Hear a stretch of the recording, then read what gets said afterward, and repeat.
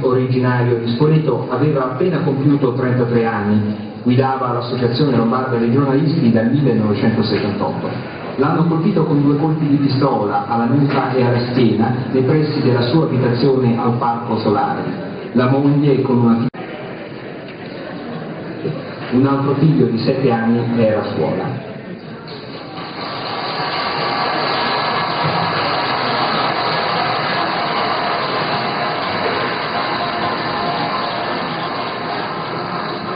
Elenco di cose che le ha lasciato suo padre Walter, legge Benedetta Tomasi.